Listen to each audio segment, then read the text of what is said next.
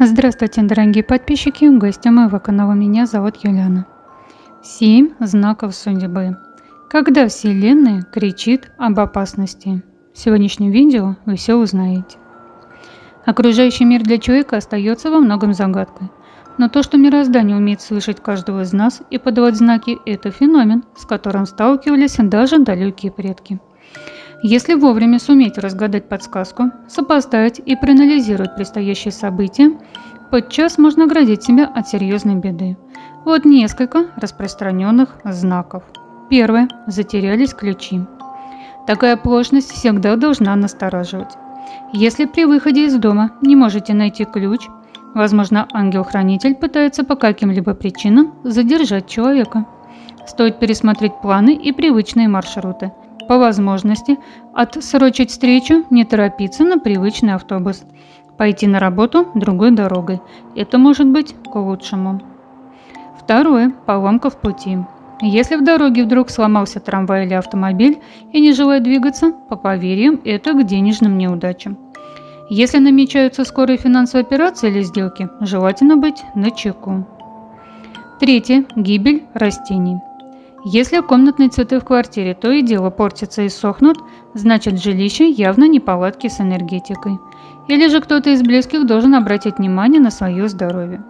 Может дело в физическом недомогании, но есть риск и колдовства. Зеленые питомцы всегда пытаются оттянуть негатив на себя, важно быстрее понять причину. Четвертое. Остановка часов. Этот сигнал сулит распри в рабочей сфере. Может, придется столкнуться с кознями коллег или прекратить сотрудничество с давним компаньоном. Стоит быть готовым к таким поворотам, предупреждать разрушение отношений и не слишком делиться своими личными наработками с другими. Также важна аккуратность в денежных делах. Брать кредиты не рекомендуется, возможны проблемы с их погашением. Пятое. Упал нож.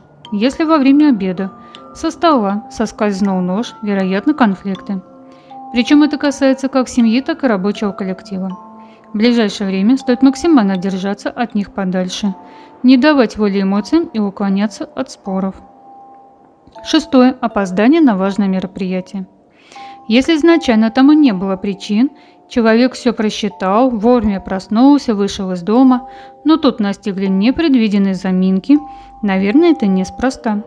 Не стоит посыпать голову пепла. Лучше извиниться перед тем, кого пришлось подвести, и назначить встречу позже.